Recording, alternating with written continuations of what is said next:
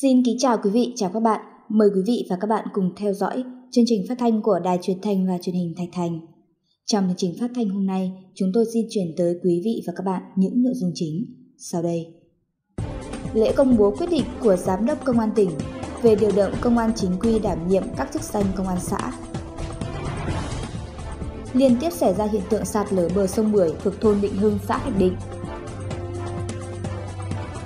Huyện Thạch Thành chủ động phòng chống sốt xuất huyết. Phát triển mô hình nuôi ếch tại xã Thạch Sơn.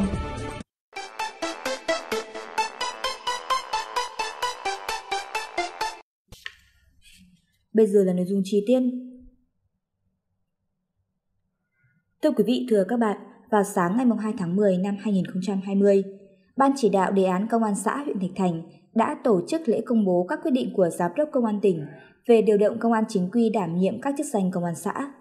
Tham dự có đồng chí Nguyễn Đình Tam, Ủy viên Ban chấp hành Đảng bộ huyện, Phó Chủ tịch Ủy ban dân huyện, đại diện các phòng ban có liên quan, lãnh đạo Ủy ban dân và trưởng công an các xã thị trấn, cán bộ chiến sĩ được điều động. Thực hiện kế hoạch số 2080 ngày 15 tháng 9 năm 2020 của Ban Thường vụ tỉnh ủy về tiếp tục đẩy mạnh thực hiện chủ trương bố trí công an chính quy đảm nhiệm các chức danh công an xã trên địa bàn tỉnh Thanh Hóa. Vào ngày 26 tháng 9 năm 2020, Giám đốc Công an tỉnh đã ký các quyết định điều động 73 đồng chí công an thuộc các phòng đơn vị công an tỉnh và công an huyện Thạch Thành đến nhận công tác tại công an 23 xã. Thanh Hưng, Thạch Định, Thạch Sơn, Thạch Lâm, Thạch Tượng, Thành Trực, Thành Thọ, Thành An, Ngọc Trạo, Thành Tiến, Thành Tâm, Thành Công, Thành Minh, Thạch Lâm, Thạch Đồng, Thạch Bình, Thạch Cẩm, Thạch Quảng, Thành Yên, Thành Mỹ, Thành Vinh, Thành Long và Thành Tân. Trước đó, Công an huyện Thạch Thành đã điều động 57 đồng chí công an chính quy đảm nhiệm các chức danh công an xã. Như vậy, tính đến thời điểm này, huyện Thạch Thành đã hoàn thành việc điều động bổ nhiệm và bố trí lực lượng công an chính quy về đảm nhiệm các chức danh công an xã ở 25 xã thị trấn trên địa bàn huyện, đảm bảo mỗi địa phương có 5 đồng chí công an chính quy theo đúng tinh thần chỉ đạo của Bộ trưởng Bộ Công an. Việc đưa công an chính quy về đảm nhiệm chức danh công an xã là chủ trương lớn góp phần nâng cao công tác đấu tranh phòng chống tội phạm, giữ gìn an ninh trật tự ở cơ sở. Các cán bộ chiến sĩ công an chính quy được điều động đảm nhiệm các chức danh công an xã cần phát huy tinh thần trách nhiệm, tích cực học hỏi kinh nghiệm, thực hiện tốt phương châm bám sát cơ sở, đáp ứng yêu cầu nhiệm vụ trong tình hình mới, hoàn thành tốt hơn nhiệm vụ được giao. Thưa quý vị, từ sáng ngày 25 đến nay, trên tuyến đê tả bờ sông Bưởi thuộc thôn Định Hưng, xã Thạch Định đã liên tiếp xảy ra hai điểm sạt lở, đe dọa đến tính mạng nhà cửa của hàng chục hộ dân. Theo đó, vào khoảng 5 giờ sáng ngày 25 tháng 9, tại thôn Định Hưng, xã Thạch Định, đã xảy ra liên tiếp hai điểm sạt lở với chiều dài của hai điểm sạt lở khoảng hơn 50 m, chiều sâu 20 m. Hiện tại, khu vực lân cận các điểm sạt lở có chiều dài gần 500 m đang tiếp tục xuất hiện nhiều vết sạn nước sụt lún, gây ảnh hưởng đến đời sống sinh hoạt, nhà ở của 30 hộ dân, hơn 100 nhân khẩu.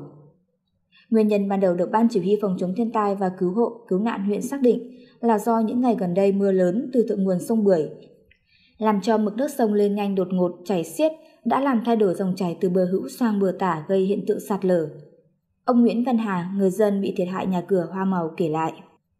Cái dạng sáng ngày 25 là em nghe dầm cái là một bữa hôm đó là mưa to. Thế là em mới ra thì thấy là nó, nó sạt lở hết cả cái khu công trình phụ với cái khu dưới này xuống. Thì bây giờ là cái khu dãy bờ sông em cũng mong muốn là đảng và nhà nước và chính quyền địa phương giúp đỡ cho những cái hộ dân xung quanh những cái dãy bờ sông này có một cái nơi ở mới ổn định sống ổn định hơn. Ông Vũ Trọng Hùng, Chủ tịch Ủy ban dân xã Tịnh Định cho biết về các biện pháp khắc phục ban đầu. Sau khi nghe thông tin của hộ gia đình báo cáo lên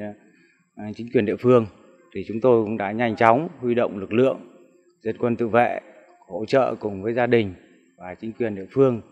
di chuyển là đồ đạc rồi à, cắm biển cảnh báo và nhắc nhở hộ dân là thực hiện đúng theo cái quy định về hạn chế đi lại là tại khu vực sạt lở trên sông.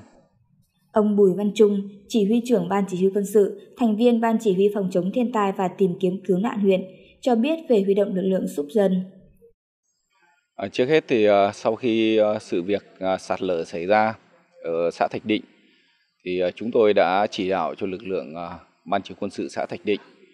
điều trung đội dân quân cơ động của xã phối hợp với gia đình để di chuyển tài sản, vật chất à, ra vị trí an toàn, đồng thời là tăng cường cái công tác tuyên truyền, cảnh báo cho các hộ dân ở khu vực bị sạt lở để tránh cái nguy hiểm xảy ra đối với bà con và ban chỉ huy phòng chống lụt bão cũng đã chuẩn bị cái phương án gồm có hệ thống cọc tre, dọ đá trước mắt à, để bảo đảm và các hệ thống biển cảnh báo để bảo đảm à, an toàn và trong tương lai thì chúng tôi cũng đề nghị để bảo đảm an toàn tuyệt đối thì cũng đề nghị nhà nước đầu tư về kinh phí để kè hệ thống à, đê ở khu vực này để bảo đảm an toàn tuyệt đối cho nhân dân. Sau khi xảy ra sạt lở, chính quyền địa phương đã tổ chức cắm cọc gia cố tạm thời và gắn biển cảnh cáo hạn chế người dân qua lại khu vực này. Các ngành chức năng huyện Thạch Thành đã đến khảo sát tình hình và lên phương án di rời các hộ dân ra khỏi khu vực nguy hiểm, hỗ trợ kinh phí sớm khắc phục.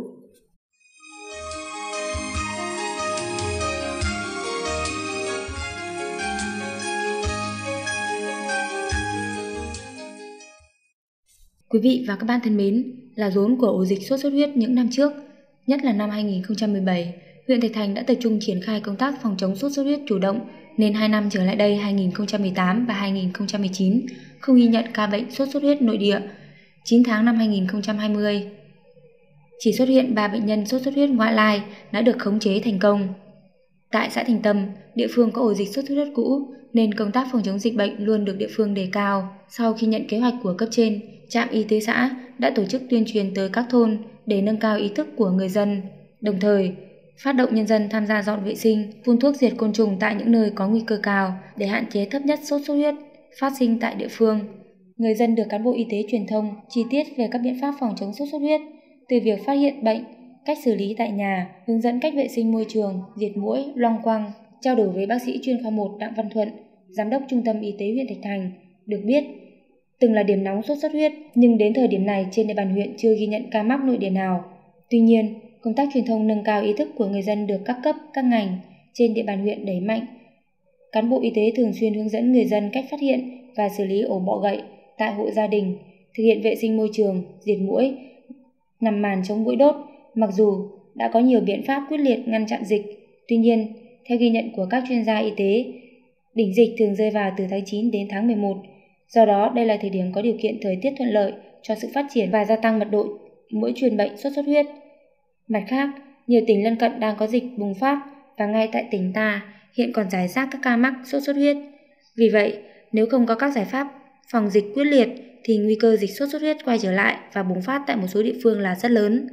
Thêm vào đó, hiện nay sốt xuất huyết chưa có thuốc đặc trị và chưa có vaccine phòng bệnh. Do đó, người dân cần chủ động bảo vệ mình để hạn chế mức độ nguy hiểm của bệnh. 9 tháng năm 2020, được sự hỗ trợ của Trung tâm Kiểm soát Bệnh tật tỉnh, cán bộ phòng chống dịch cấp huyện và xã đã tổ chức 3 đợt điều tra giám sát vector tại các hộ gia đình. 100% các hộ gia đình được phỏng vấn đều có kiến thức về bệnh sốt xuất huyết, được nghe các kênh truyền thông của xã tuyên truyền về các biện pháp chủ động phòng dịch. Bên cạnh đó, Trung tâm Y tế huyện đã chuẩn bị đầy đủ cơ số thuốc, hóa chất, phối hợp cùng các đơn vị địa phương tiến hành phun hóa chất diệt mũi tại các khu vực có nguy cơ bùng phát dịch bệnh định kỳ hàng tháng, thực hiện tổng vệ sinh môi trường, tổ chức thu gom và xử lý triệt để các rác thải phòng chống dịch bệnh. Với phương châm không để dịch phát sinh, Trung tâm Y tế huyện đã chủ động xây dựng kế hoạch phối hợp hoạt động phòng chống dịch, đẩy mạnh công tác tuyên truyền từ huyện tới xã, thị trấn, thôn bản. Tại các địa phương, công tác giám sát chỉ số côn trùng, vector truyền bệnh, giám sát điều tra, thống kê ca bệnh dịch truyền nhiễm được thực hiện nghiêm theo chỉ đạo của trung tâm, nhất là khi thời tiết thay đổi, chú trọng giám sát bệnh nhân có biểu hiện của sốt xuất huyết, mở rộng điểm giám sát các chỉ số mũi, bọ gậy trước và sau khi tổ chức phun hóa chất diệt mũi, hướng dẫn các đơn vị y tế thực hiện nghiêm túc công tác phòng chống dịch sốt xuất huyết trong cộng đồng dân cư, chủ động xây dựng kế hoạch diệt mũi, long quang tại các hộ gia đình, củng cố kiện toàn lại các đội chống dịch cơ động, chuẩn bị sẵn sàng cơ số thuốc, hóa chất, vật tư, bảo đảm công tác phòng chống khi có dịch xảy ra, chỉ đạo các xã thị trấn triển khai quyết liệt công tác phòng chống, giám sát, đánh giá tình hình, ứng phó kịp thời khi dịch có nguy cơ lan rộng. Các ban ngành đoàn thể, tổ chức chính trị xã hội phối hợp với ngành y tế huyện triển khai quyết liệt, đồng bộ các giải pháp phòng chống, ngăn chặn sự bùng phát của các loại dịch bệnh tại địa phương. Với sự vào cuộc quyết liệt của chính quyền địa phương, của các cấp, ban ngành đoàn thể, đặc biệt là sự đồng thuận của nhân dân trong huyện, đến thời điểm cuối tháng 9 năm 2020, huyện Thạch Thành mới chỉ ghi nhận 3 ca sốt xuất huyết ngoại lai và đã được kiểm soát. Mùa mưa cũng là mùa sốt xuất huyết lưu hành. Huyện Thạch Thành cùng với các địa phương khác trong toàn tỉnh, tiếp tục thực hiện tốt thông điệp cộng đồng cùng hành động phòng chống sốt xuất huyết. Mỗi người hãy tự bảo vệ sức khỏe cho chính mình, cho gia đình mình, góp phần cho thành công của cộng đồng trong phòng chống sốt xuất huyết.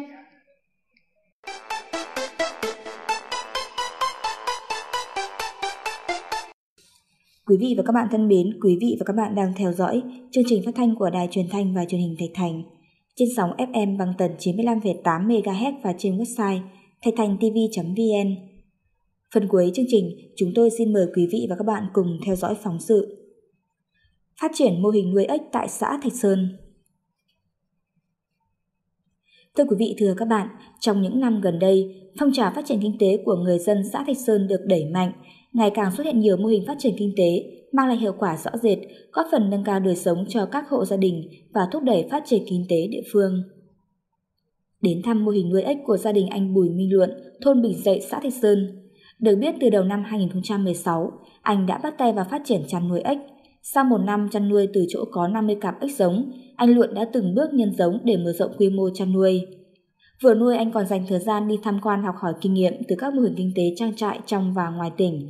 rồi mạnh dạn thử nghiệm với mô hình chăn nuôi ếch thương phẩm trên bạt. Vừa nuôi vừa rút kinh nghiệm, đến nay sau 4 năm đầu triển khai, mô hình nuôi ếch trên bạt của gia đình anh có khoảng hơn 6 vạn con ếch trên một lứa. Mỗi năm nuôi hai lứa, gia đình anh xuất khoảng 15 tấn ếch thương phẩm. Với mức giá bán 40 đến 45 000 đồng trên 1 kg, mỗi năm gia đình anh thu về hơn 400 triệu đồng. Chia sẻ với chúng tôi anh Bùi Minh Luận, thôn Bình Sậy, xã Thạch Sơn cho biết. Ở gia đình tôi ếch cũng được ờ, 4-5 năm rồi, mỗi năm được khoảng 1-2 lứa gì đấy. Thu nhập tầm khoảng 4-500 một lứa, ờ, một lứa khoảng tầm 5 vạn con gì đấy. Đợt này là dịch ấy, mong chính quyền quan tâm giúp đỡ gia đình với lại các hộ nuôi. Xã Thạch Sơn hiện có hàng trăm hộ nuôi ếch trong đó thôn Bình Sậy là nơi có nhiều hộ nuôi nhất xã. Mô hình nuôi ếch đến thời điểm hiện tại được xem là hiệu quả. Tuy nhiên, sự phát triển của mô hình này vẫn còn thiếu tính bền vững do thức ăn chăn nuôi tăng, giá cả bấp bênh đầu ra không ổn định, chất lượng giống không đảm bảo. Do đó, để mô hình nuôi ếch phát triển bền vững, chính quyền địa phương và người dân cần có biện pháp quy hoạch và hướng đi đúng đắn nhằm mang lại hướng phát triển kinh tế ổn định cho người dân.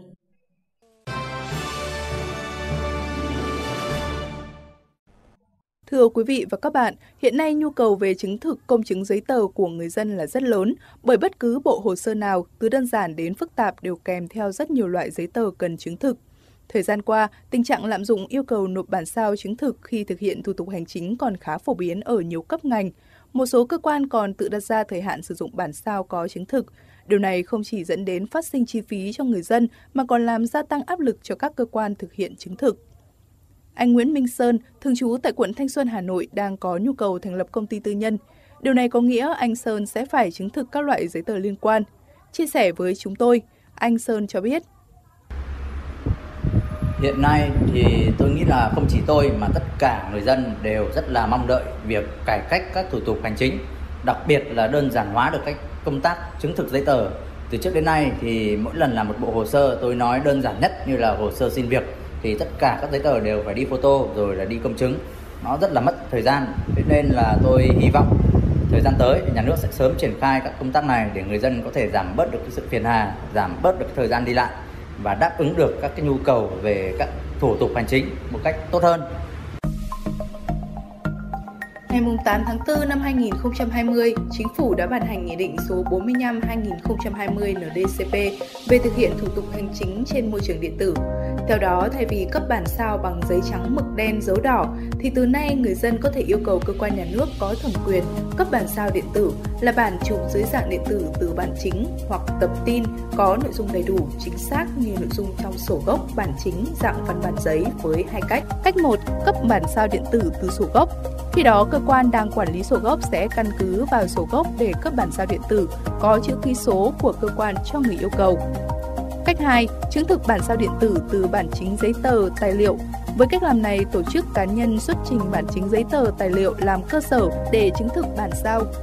Theo quy định tại khoản 3 điều 10 Nghị định 45/2020 NDCP có hiệu lực từ ngày 22 tháng 5 năm 2020, trong trường hợp bản chính giấy tờ, tài liệu do cơ quan tổ chức có thẩm quyền của nước ngoài cấp công chứng hoặc chứng nhận thì phải được hợp pháp hóa lãnh sự theo quy định của pháp luật trước khi yêu cầu chứng thực bản sao. Trừ trường hợp được miễn pháp hóa lãnh sự theo điều ước quốc tế mà Việt Nam là thành viên hoặc theo nguyên tắc có đi có lại.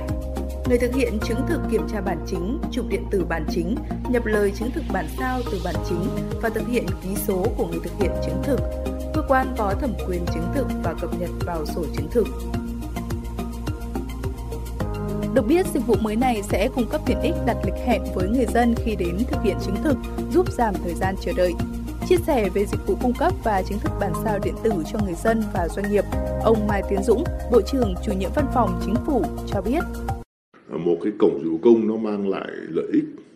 cho cả cơ quan nhà nước và cả người dân doanh nghiệp. Thế và đối với cơ quan nhà nước đây cũng là cái dịp dựa vào đó để chúng ta cải cách, chúng ta giả soát lại toàn bộ, tái cấu trúc lại toàn bộ tất cả cái quy trình thủ tục hành chính. Những cái làm việc như này để chúng ta mang lại cái lợi ích rất lớn, chúng ta tiết kiệm chi phí cho người dân, cho doanh nghiệp về thời gian, về tiền bạc. Thế và phải nói là như thủ tướng đã nói là làm được cái này chính là chúng ta cũng là cái biện pháp rất mạnh để phòng chống tham nhũng vặt. Trước đây, nếu tính trung bình thực hiện một bộ hồ sơ chứng thực với độ dày 5 trang tài liệu, chi phí xã hội một người dân phải bỏ ra khoảng 50.000 đồng.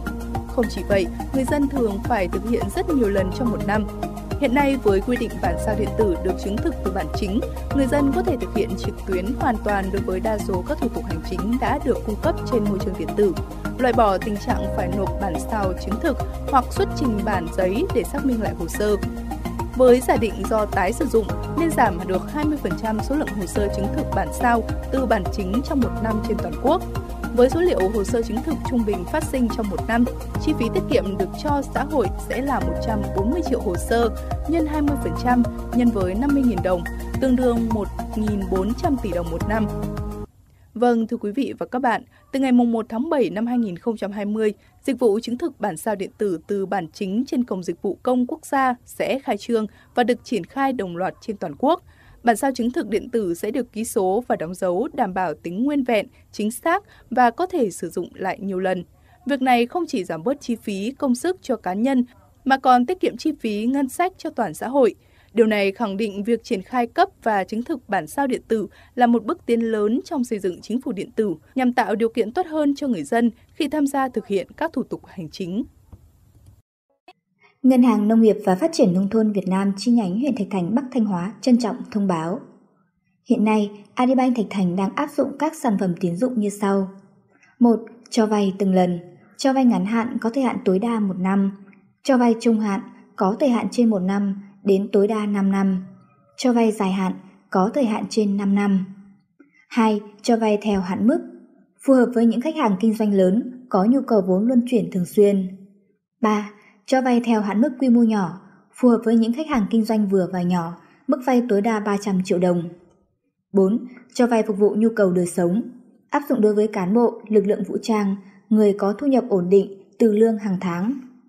5 cho vay hỗ trợ lãi suất theo quyết định số 68 ngày 14 tháng 11 năm 2013 của Thủ tướng Chính phủ. Phù hợp với những khách hàng có nhu cầu về mua máy móc phục vụ trong nông nghiệp, hỗ trợ khách lãi suất 100% trong 2 năm đầu và 50% từ năm thứ hai trở đi. 6. Cho vay thấu chi qua tài khoản thanh toán qua thẻ ATM nông nghiệp nông thôn. Thuận lợi cho việc thanh toán tiền nước, tiền điện sáng, điện thoại, vân vân. Thanh toán các nhu cầu tiêu dùng sinh hoạt trong gia đình nhằm đẩy lùi tín dụng đen. Adibank Thạch Thành khuyến khích khách hàng nên vay vốn duy nhất tại Adibank, không nên vay nhiều tổ chức tín dụng.